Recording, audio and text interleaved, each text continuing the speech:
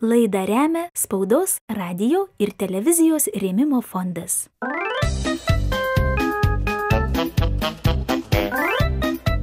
Čia radio laida Vakaro žvaigždelė vaikams ir visai šeimai.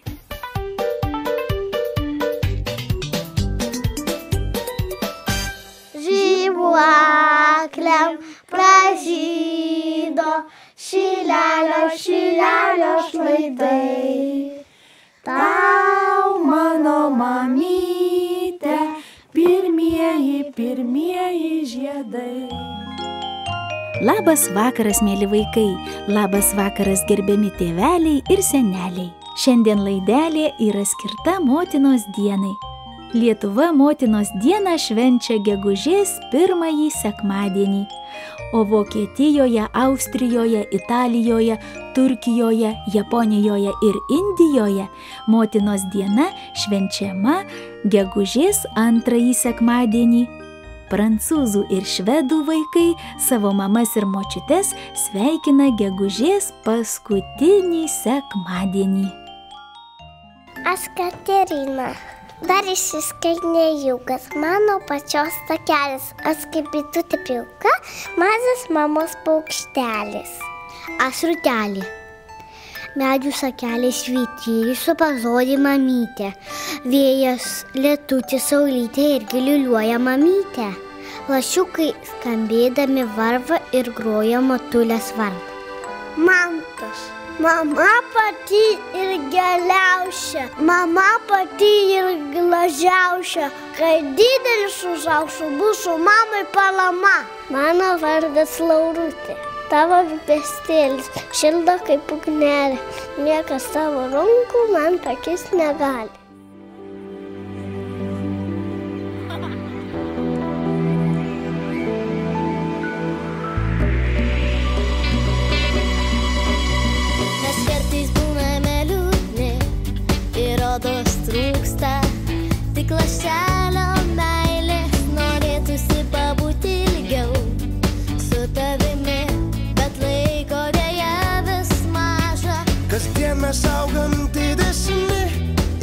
Rečiau paklausam, kaipgi sekas mama. Viskas gerai, gerai, kai tu esi šalia. Aš širdyje labai myliu savo mamą,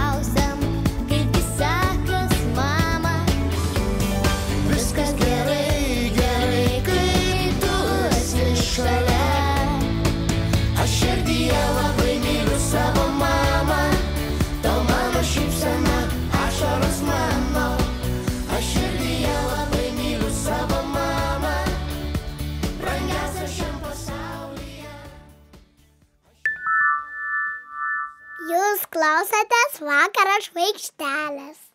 Sakau jums tikrą tiesą. Tikrai.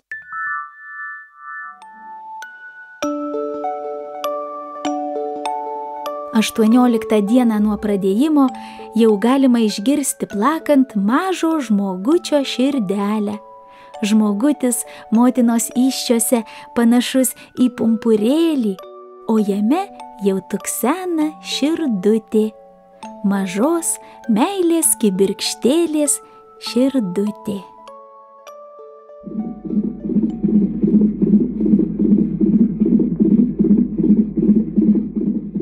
Vaikai, iš kur meilės kibirkštėlės atkeliauja į žemę?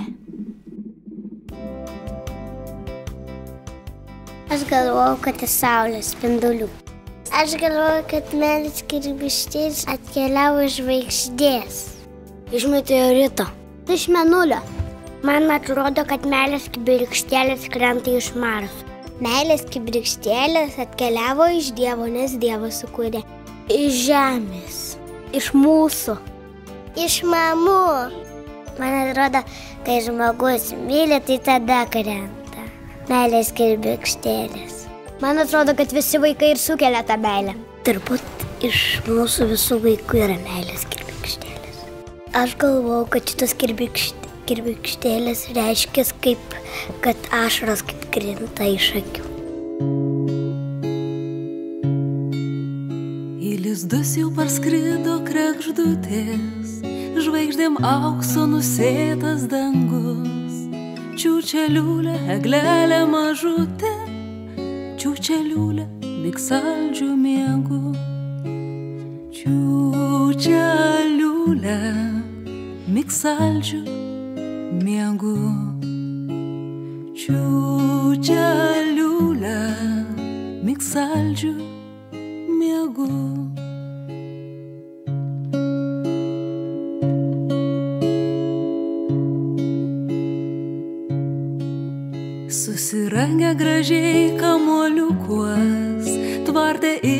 geriukai rimti. Nebekrykštau, keglelę neūkauk, čiūčeliulė jau metas nurimt.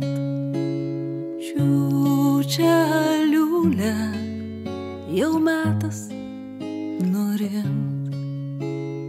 Čiūčeliulė jau metas nurimt.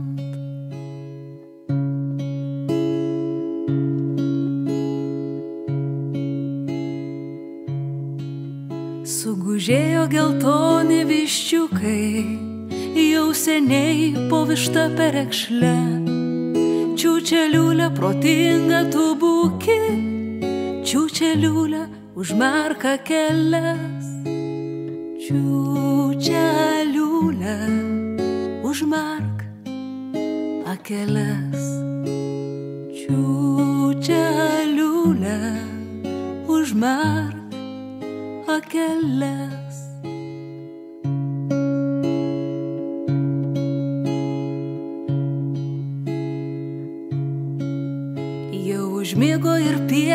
Asotį, ir sode ant šakų obuoliai. Metas, metas eglelė miegoti, čiūčeliulė migreit ir giliai. Čiūčeliulė migreit ir giliai.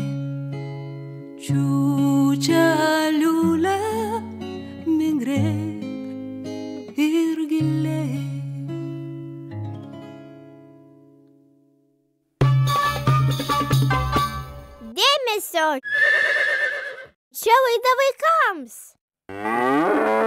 O kokia laida? Vakaro žvaigždelė.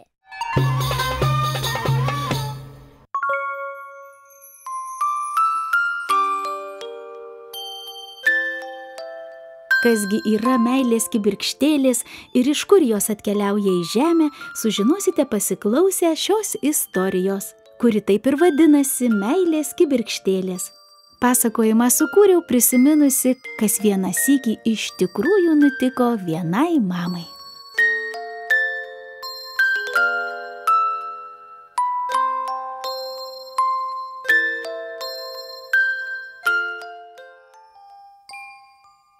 Tai atsitiko labai labai seniai. O gal neseniai, gal vakar, gal šiandien ryte, kažkur aukštai, na taip aukštai, kad pakėlus galvą nesimato, gyveno nesuskaičiuojama daugybė meilės kibirkštėlių. Joms buvo linksma ir smagu. Jos žaidė, gaudė viena kitą, o retkarčiais stebėjo žemę ir klausėsi, ką jos gyventojai kalba. Aš noriu turėti sesę. Dėl to, kad galėčiau žaisti. Būtų linksmiau. Kai turi brolį, už tai faina, kad, kad su juo gali dalintis džiaugsmu. Aš noriu turėti brolį ir sesę. Nu, nes aš neturiu su ko žaisti namuose per išėgydės. Aš labai myliu savo sesę ir broliuką. Noriu sesutę turėti. Vieną namuose žaidžiu ir nežinau su kuo žaisti. Mama nežaidžia. Kartą viena meilės kibirkštėlė tarė. Man atėjo metas keliauti į žemę. Nenusiminkite, sesės. Gal žemį dar pasimatysime.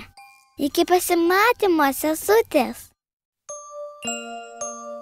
Ir meilės kibirkštėlė su džiaugsmu pradėjo leistis į žemę. Žemė vis artėjo, artėjo, jau liko visai nedaug, tik keli žingsneliai, kai staiga kibirkštėlę apgaubė tamsa. Tamsoje knipždėjo piktos gyvybę ir džiaugsmą naikinančios mintys. Tarsi tirštas rūkas, tamsa bandė sutrukdyti kibirkštėliai pasiekti žemę. Kibirkštėlė sustojo. O tuo metu žemėje lyjo lietus. Šalia ėjo moteris ir verkė.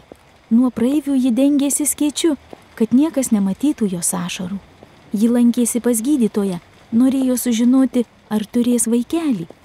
Įdėmiai ją apžiūrėjęs gydytojas atsakė, kad dar nežinia, didelė nežinia, ar vaikutis ateis pas ją ir liepė tik nesijaudinti, sunkiai nieko nekelti ir daug ilsėtis. Išėjusi iš gydytojo kabineto, moteris negalėjo sulaikyti ašarų. Ji ėjo lietai, lietaus lašai krito ant skėčio, pro šalį važiavo mašinos, o ji mintyse kartojo. Prašau, vaikeli, ateik pas mane. Meilės kibirkštėlė jautė, kad žemėje kažkas jos labai labai laukia ir jau iš anksto ją myli. Todėl ji neišsigando tamsos ir drąsiai žengė pirmin.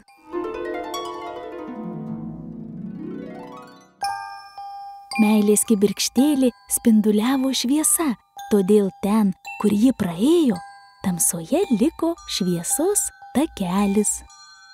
Meilės kibirkštėlė nusileido ant moters dešiniojo peties.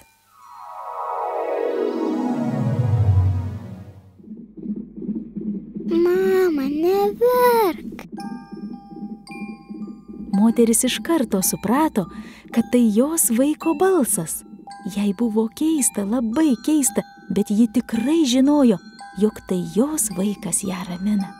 Gerai, neverksiu, nusišluostė ji ašaras, o iš tikrųjų jai dar labiau norėjosi verkti, tik dabar jau iš džiaugsmo. Ji nusišypsojo ir vėl pakartojo. Gerai, vaikeli, daugiau nebeverksiu. Sunkus pilki lietaus debesys nuplaukė į tolį. Žydrinėje vėl šypsojosi saulė. Moteris nuėjo į artimiausią maisto prekių parduotuvę ir nusipirko šokoladinį surelį. Tai buvo pirma saldi dovanėlė savo mažyliui. Meilės kibirkštėlė džiaugiasi gyvendama mamytėje. Jai čia buvo šilta ir jauku. Čia ji gyveno devynis mėnesius, plaukiojo savo vandenėlyje, augo ir vystėsi. O paskui atėjo metas pamatyti, kaipgi atrodo mama ir tėtis, broliai ir sesės. Atėjo metas sužinoti, kaip atrodo žydras dangus ir balti debesėliai, žalia pieva ir geltonos pienės.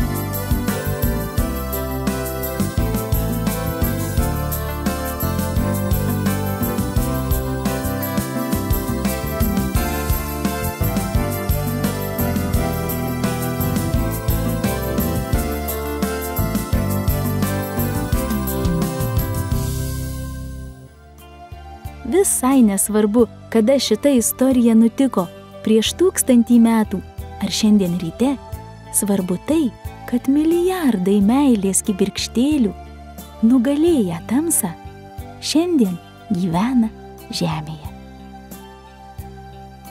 O aš namuose turiu tokį gražų, gražų kūdikėlį. Mama nupirko.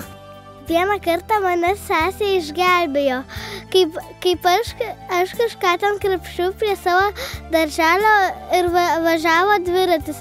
Ir sesė pamatė ir bėgo ir mane užgulė. Ir aš likau gyva sveika, bet, bet sesė partrenkė. Ir sesė reikėjo važiuoti į ligoninę. Man visada Linas kartais atneša tokios gumos, tokios rūkščios. Linas yra mano brolis. Geras labai. Aš sesiai padedu ruošti pamokas, o tėčiui taisyti ten mašiną, jeigu kas sugenda. Kai mama susirga, aš pavyzdžiui padarau valgyti ir išverdu arbatos. Aš senelį mišraviu daržą vasarą. Aš kai atsikeliu, kartais pasikloju lovą.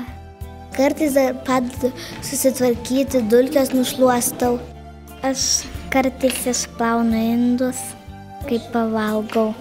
Dar mano sesė dažnai plauna grindis, kai paprašo mama. Debesėlį, debesėlį, kur mus ved. Tu palauki, tu palauki, neskubėk, įlitoji, įlitoji, tu palik. Salė, salė, sakamėlus ir vanduo gailius. Čia radio laida Vakaro žvaigždelė. Viens, du, viens, du, trys ir. Prisiglaudusi prie stiklo tyliai žiūriu. Ir padangėje lėktuvą aš stebiu. Gal ten mano mama ir tėtis grįžta namo, kaip gandrai iš tolimo krašto. Debesėlius paskaičiuokim viens, du, trys. Ir gražiai, gražiai paplokim viens, du, trys. Sugrįžta mama, mama ir tėtis sugrįž. Sugrįš. Ir šypsena nuo veido neišnyks. Sugrįžta mama, mama ir tėtis sugrįž. Šypsena nuo veido neišnyks. Tararararam, la la tararararam.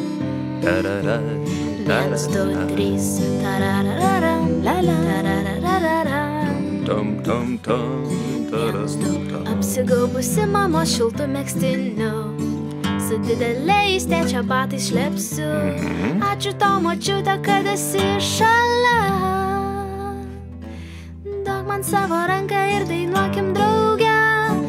mėnesėlius paskaičiuokim 1, 2, 3 ir gražiai, gražiai paplokim 1, 2, 3.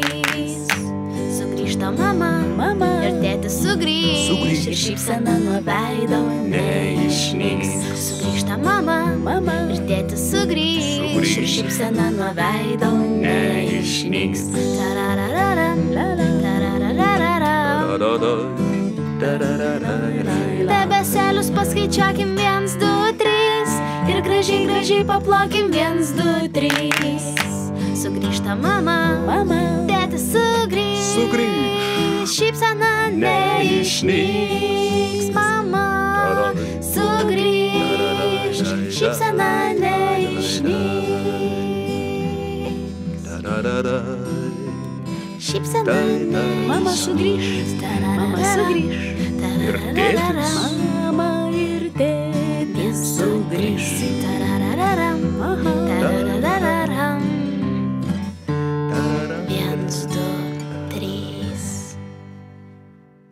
Mama, aš myliu tave i- i- visą laiką gyvenimą, kad tu esi tokia graži. Man smagiausia turbūt dėl to turėti vaikų, kad, kad jie labai daug ko išmokina. Ir iš jų tiek daug visko išgirsti. Ir, ir labiausiai turbūt išgirsti Dievo balsą per juos, nes jie tikrai labai daug ko pasako. Tokių dalykų, ko suaugęs nepasakytų ir kai yra pačiai labai sunku ir kai vaikas tą jaučia Ir jis prieina ir tiesiog apkabina. Ir ne, nesako jokių pamokslų, ką tau reiktų daryti gyvenime ar kažkaip kaip, kaip jaustis turėtum. Iš jų mokiniesi, kaip turėtum elgtis gyvenime, kad, kad būtum laimingas, nuoširdus ir, ir visą imantis iš gyvenimo ir besidžiaugiantis juo, kas bebūtų. Grįžti namo ir vaikas tiesiog krykščia iš džiaugsmo, jis pribėga, apsikabina ir, tiesiog sako, aš tave labai myliu, nu, vad, ko mums trūksta suaugusiems, kad mes per tą rutiną prarandam tą tokį džiaugsmingumą arba kai mato, kad liūdė, tiesiog prieina tave ir apkabina. Atsikėliau ankstų rytą, žvilg pro langą, žiūriu, krekždelė skrenda. Aš tą krekždelę paėmiau už rankų, ant stalo savo padėjau ir jau ruošiuosi valgyti, druskos beriu. Tik sako man krekždė žmoniška kalba, nevalgyk manęs, atsilyginsi geruoju. Aš sakau, jeigu taip jau nori, tai gerai, nevalgysiu tavęs. Pamaitinau, pagirdžiau ir skrido pas savo vaikelius ir vyrą. Tu praverk langelį, pamojuok, žvaigždelį vakaro žvaigždelė, šypsosi tau, Tau, tau. ir į žemę krenta meilės kibirkštėlės, kad širdelėje būtų šviesiau. Širdelėje būtų šviesiau. Kad širdelėje būtų šviesiau. Sveiki, vakaro žvaigždelė, Mėly tėveliai, jūsų dėmesys sūnui ar dukrai tai pats geriausias vaikams vitaminas. Mėly vaikai, jūsų dėmesys mamai ir tėčiui tai pats geriausias tėveliams vitaminas. Skirkime vieni kitiems kuo daugiau laiko. Jau žiema, jau žiema. Prasidėjo vonioje, pilgi daugiau putų. Jau žiema, Hei, hei. Jau žiema. Hei, hei, prasidėjo vonioje, pilgi daugiau putų. Daugiau, daugiau. Jau žiema, jau žiema. Sveikinu visas mamytes ir močiutes su motinos diena. Šypsokitės ir dovanokite savo šypsenas vaikams. Iki kito susitikimo didelės ir mažos meilės kibirkštėlės. Sudie.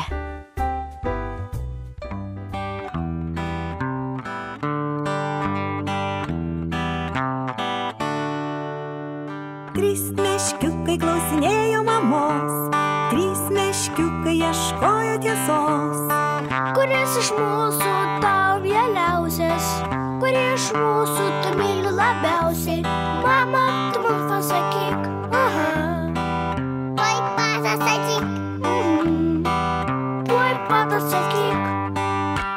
Meškiukų mama vaikus suskaičiavo, meškiukų mama vaikus pabučiavo.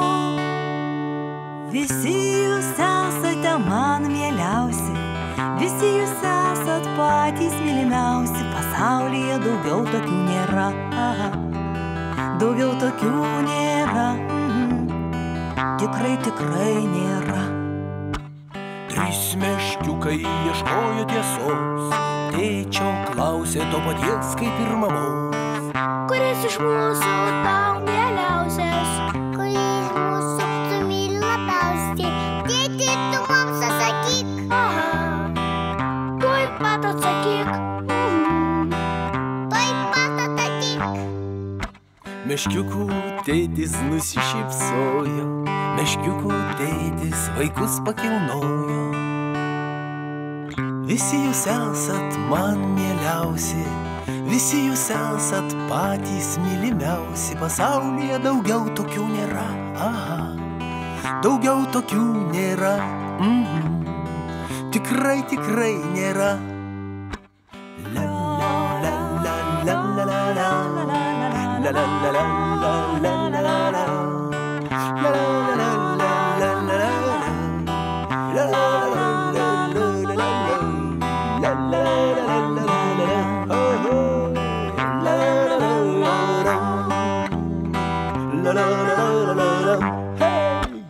Trys meškiukai pas močiutę atbėgo, apkabino sužinoti norėjo.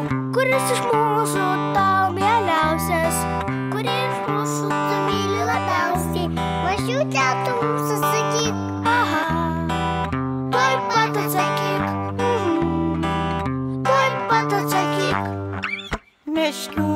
močiutė jiems davė medaus, močiutės meilė lyg pačio dangaus. Visi jūs esate mano mieliausi, visi jūs esate patys mylimiausi, pasaulyje daugiau tokių nėra. Daugiau tokių nėra. Tikrai, tikrai nėra. Trys meškiukai atbėgo pas senelį, trys meškiukai atsisėdo jam ant kelių. Kuris iš mūsų tau mieliausias? Kuris iš mūsų tu myli labiausiai?